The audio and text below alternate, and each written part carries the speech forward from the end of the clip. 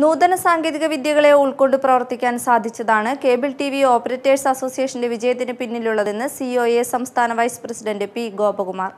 സാങ്കേതിക വിദ്യയുടെ ഓരോ മാറ്റവും അപ്പോൾ ജനങ്ങളിലേക്ക് എത്തിക്കുന്നതിൽ കേബിൾ ടി വി ഓപ്പറേറ്റേഴ്സ് വഹിച്ച പങ്ക് ചെറുതല്ല.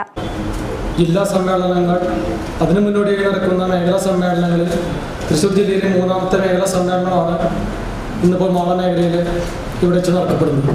ഒരുപക്ഷെ നേരത്തെ സ്വാഗത പ്രസംഗം ഞാൻ സൂചിപ്പിച്ച പോലെ കഴിഞ്ഞ വർഷത്തെ ഒരു സമ്മേളനം എന്ന് പറഞ്ഞാൽ വിരലിലെണ്ണാവുന്ന വ്യക്തികളായിട്ട് ഒതുങ്ങി നിൽക്കുന്ന ഒരു അവസ്ഥയുണ്ടായിരുന്നു.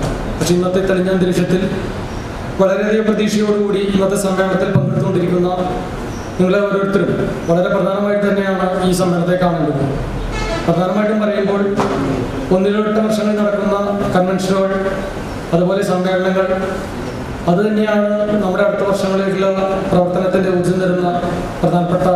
അടിസ്ഥാന ഘടകങ്ങൾ.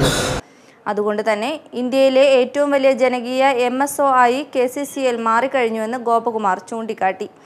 സി ഒ എ മാള മേഖലാ സമ്മേളനം ഉദ്ഘാടനം ചെയ്ത് സംസാരിക്കുകയായിരുന്നു അദ്ദേഹം. മേഖലാ പ്രസിഡന്റ് എം ബി രാജു അധ്യക്ഷത വഹിച്ചു.